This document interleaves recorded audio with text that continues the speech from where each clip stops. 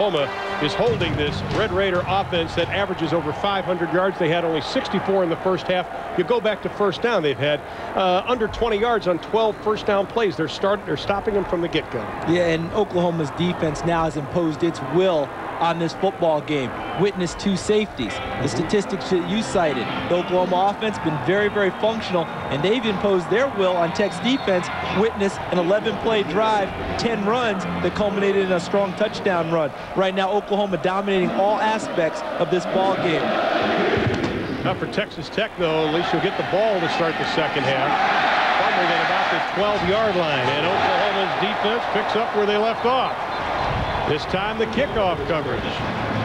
Let's take a look at some of the numbers from the first 30 minutes of play.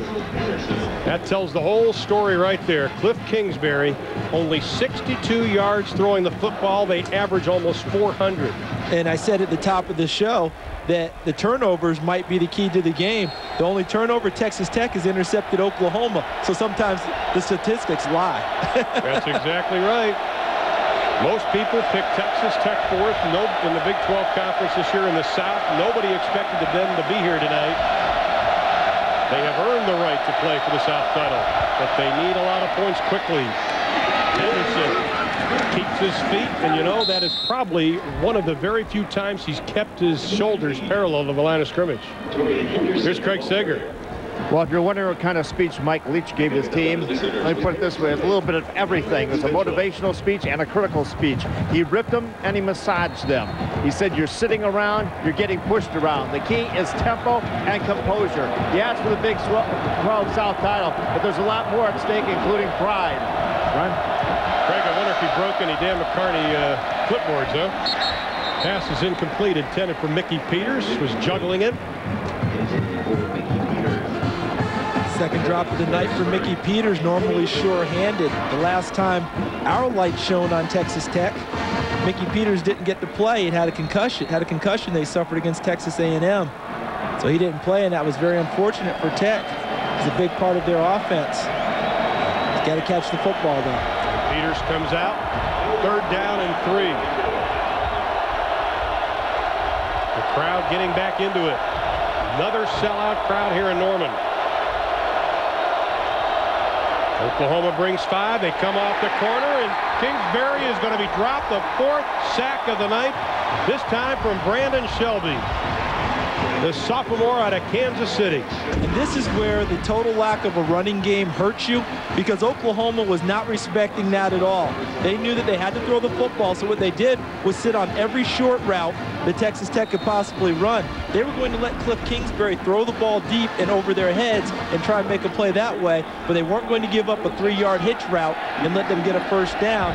He had nowhere to go with the ball. Another sack for Tech Oklahoma. It put his block! Touchdown, Oklahoma! Peoples with a touchdown.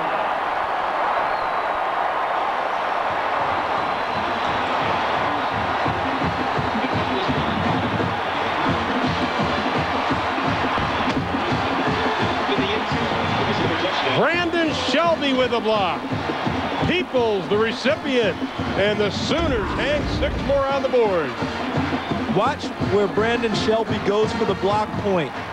Excellent job because he's well coached. He doesn't go right for the punter. He goes for the point. He knows how many steps that Greathouse takes, goes to that spot, blocks the ball, and Will Peoples, who we saw emerge this year when we were here for the South Florida game, adds mm-hmm. another touchdown, this time on special teams. First punt blocked on Clinton Greathouse this year. One more look at it again, Charles. Yep. Right to the block point, six more points for the Oklahoma Sooners. And they're dominating this game in Norman. First quarter, this took under one and a half. And now Texas Tech in the biggest hole they've been in this year with any hope of a comeback. About 13 block kicks since Bob Stoops has been head coach here at Oklahoma. From the 10. And the Sooners doing a great job converging. You know, behind every great player is a great mom. Quentin Griffin is no exception. Here's Erin Andrews. That's right. I'd like to introduce you to my very special guest, Miss Barbara Griffin. She made the six-hour drive here from Texas to root her son on on his senior night. He's had a terrific four years here at Oklahoma. Are you sad to see it come to an end? Actually, I'm not, but I've enjoyed every four years, and this is foremost the best. I Now, we've got a little bit of dirt on Quentin. His coaches and his teammates say he's very shy. Reporters can't even get four words out of him for an interview. You know the real Quentin. Tell us, is he that shy? No, Quentin is full of questions. It's question after question with me anyway. Now, he might not say much to, you know, his teammates or the media, but he really opens up to me. He's not that shy. It's been rumored his mentor, his idol, Barry Sanders. You know a little bit about his admiration for him. Well, Barry Sanders is one of his favorite players, if not his favorite. Um, he has posters, T-shirts. He even goes on the internet to print pictures or whatever he can of Barry. So that's his favorite player, I think. Ms. Griffin, thanks so much. Guys, back up to you. Now, Foy Munlin can't uh, get the handle on it. Now, Quick, Quick Griffin still has some football to be played. Mom, you still got a couple more games to have the opportunity to watch him. He's a great young man, though. Yes, he is, and, and she mentioned his admiration for Barry Sanders, and I think that Quentin Griffin's style as a person mimics Barry Sanders. As you mentioned, from Humble, Texas, shy, retiring type, hands the ball to the referee after he scores a touchdown. Just a great all-around young man. Third and two. Throw it out to Welker. Gets the first down in some running room. Crosses the 50 down to the 48-yard line. Jimmy Wilkerson finally tracking him down from behind. Type of play that you need if you're Texas Tech and type of play that they've used all year long. This is what I call a people play. Wes Welker is one of their better players, right? So you got to get the ball in his hands somehow. This time they do it with a long swing pass, 23-yard gain. Texas in business in Oklahoma territory. That is their biggest game of the night, Charles. Biggest gain of the night, Charles. Yeah, you got to find the guys who make plays Yeah. for you and get the ball to them no matter what. First and 10. Kingsbury finds the intended receiver down to the 39-yard line. It's Mickey Peters. The junior out of Weatherford, Texas. His first reception of the night for the former high school quarterback.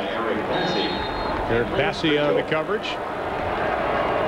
And that time, Cliff Kingsbury was able to come off of his first option, trying to throw a hitch to the wide side of the field and come inside to Mickey Peters. Second down and 10. The Sooners showing blitz, and here they come again. Kingsbury throws it away. Tipped. Intercepted Oklahoma. Perkins, his fourth interception of the year.